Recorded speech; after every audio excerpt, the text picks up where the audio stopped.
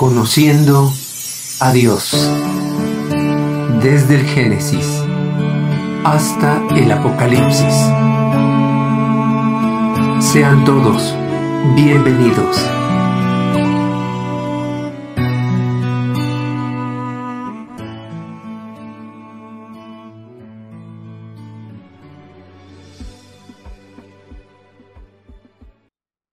Historia de Nehemías. Los muros de Jerusalén son reconstruidos. Nehemías capítulo 5 al 10. Entonces hubo gran clamor del pueblo y de sus mujeres contra sus hermanos judíos. Había quien decía, Nosotros, nuestros hijos y nuestras hijas, somos muchos. Por tanto, hemos pedido prestado grano para comer y vivir. Hemos empeñado nuestras tierras, nuestras viñas y nuestras casas para comprar grano a causa del hambre. y había quienes decían, ¿Vosotros veis el mal en que estamos? Hemos tomado prestado dinero para el tributo del rey sobre nuestras tierras y viñas. Ahora bien, nuestra carne es como la carne de nuestros hermanos, nuestros hijos como sus hijos. Y he aquí que nosotros dimos nuestros hijos y nuestras hijas a servidumbre, y algunas de nuestras hijas lo están ya, y no tenemos posibilidad de rescatarlas, porque nuestras tierras y nuestras viñas son de otros. y me enojé en gran manera cuando oí su clamor y estas palabras. Entonces lo medité y reprendí a los nobles y a los oficiales y les dije, ¿Exigís interés cada uno a vuestros hermanos? y convoqué contra ellos una gran asamblea y les dije, Nosotros, según nuestras posibilidades, rescatamos a nuestros hermanos judíos, que habían sido vendidos a las naciones. Y vosotros vendéis aún a vuestros hermanos, y serán vendidos a nosotros. y callaron, pues no tuvieron que responder.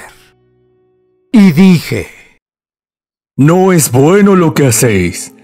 No andaréis en el temor de nuestro Dios, para no ser oprobio de las naciones enemigas nuestras. También yo y mis hermanos y mis criados les hemos prestado dinero y grano. Quitémosles ahora este gravamen.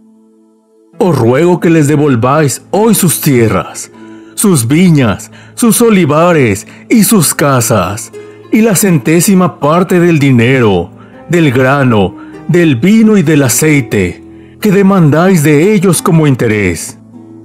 y dijeron, Lo devolveremos, y nada les demandaremos. Haremos así como tú dices.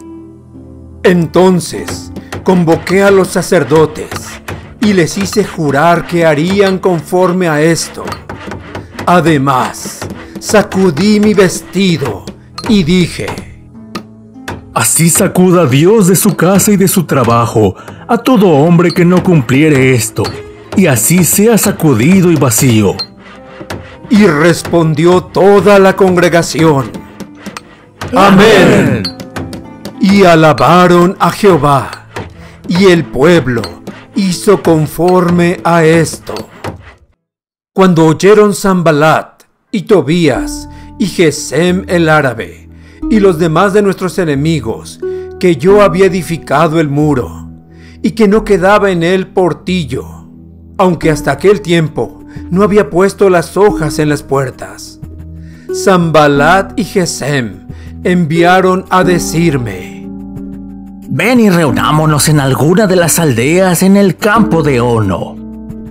mas ellos habían pensado hacerme mal.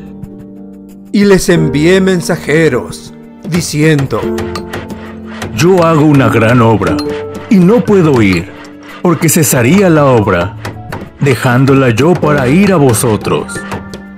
y enviaron a mí con el mismo asunto hasta cuatro veces.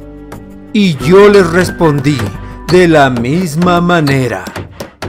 Entonces Zambalat envió a mí su criado para decir lo mismo por quinta vez, con una carta abierta en su mano, en la cual estaba escrito, Se ha oído entre las naciones, y Gasmu lo dice, que tú y los judíos pensáis rebelaros, y por eso edificas tú el muro, con la mira, según estas palabras, de ser tú su rey y que has puesto profetas que proclamen acerca de ti en Jerusalén, diciendo, hay rey en Judá, y ahora serán oídas del rey las tales palabras.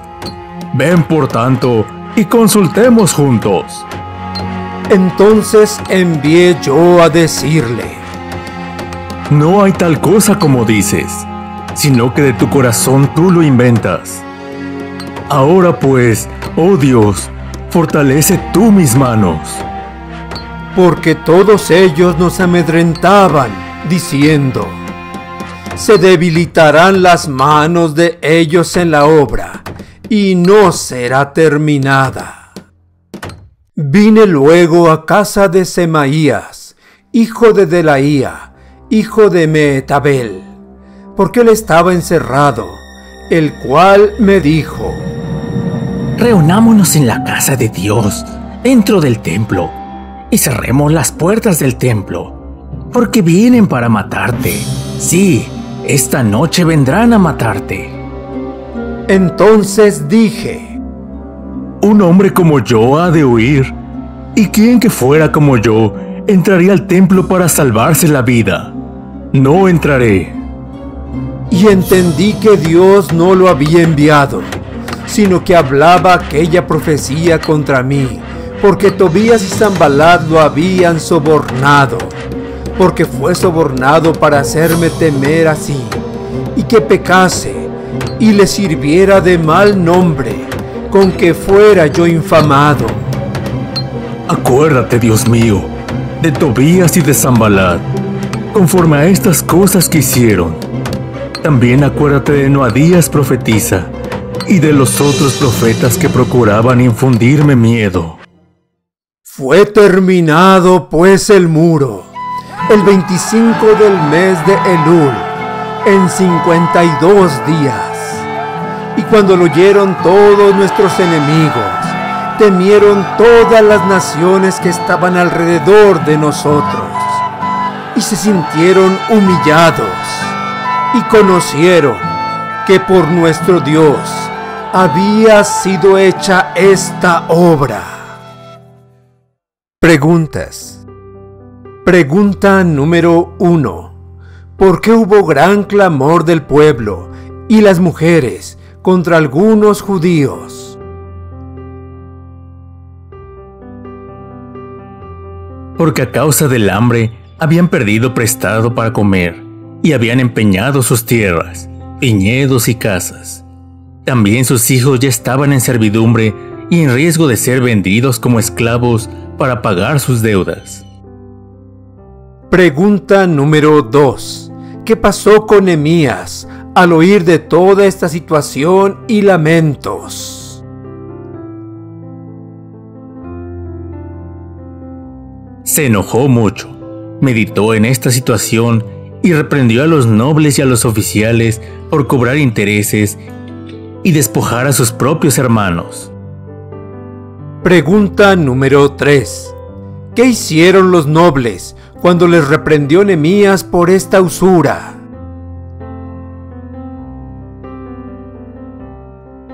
No supieron qué decir y se quedaron callados. Pregunta número 4. ¿Qué más les dijo Nehemías?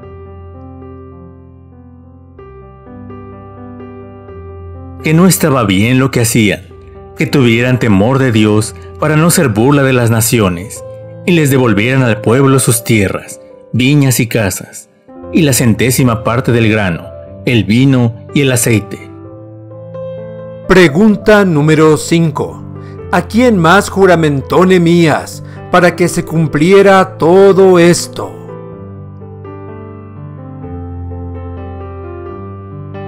a la clase sacerdotal, y sacudiendo sus vestidos, les dijo que así Dios acudiría a la casa y el trabajo de todo hombre que no cumpliere esto, y quedaría sin nada. Pregunta número 6. ¿Qué querían hacer Zambalat, Tobías y Gesem el árabe?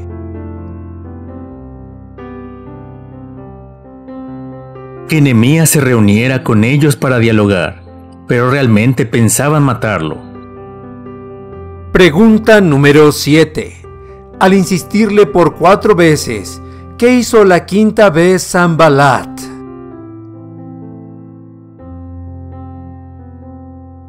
le envió una carta donde decía que se rumoraba entre las naciones que los judíos planeaban rebelarse contra el rey de Persia, y Nemías autoproclamarse rey, que dialogara con ellos antes de acusarlo con el rey. Pregunta número 8. ¿Qué hizo Nemías ante esta invitación y amenazas? Le mandó a decir que eran mentiras y que él había inventado esto de su propio corazón. Pregunta número 9. ¿Qué le profetizó Semaías, hijo de Delaía, a Nehemías?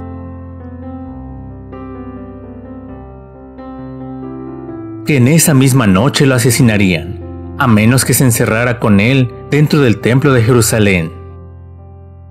Pregunta número 10. ¿Qué respondió Nehemías al falso profeta Semaías?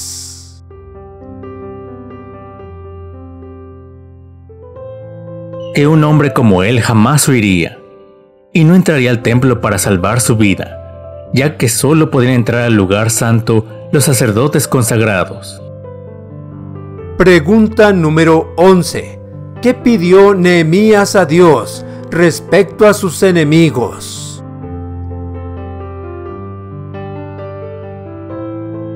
que él les pagara conforme a sus hechos, que se acordara de Tobías y de Zambalad, también de la profetisa Noadías, y de los otros profetas que como Semaías procuraban engañarlo y infundirle miedo. Pregunta número 12. ¿Qué ocurrió finalmente en el día 25 del mes de Elul?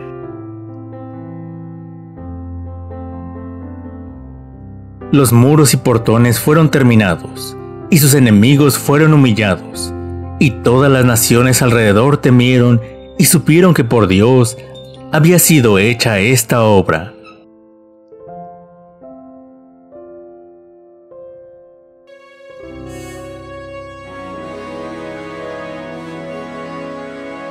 Gracias por ver o escuchar este video y llegar hasta el final. Si ha sido de ayuda para tu vida, dale like y compártelo con otros.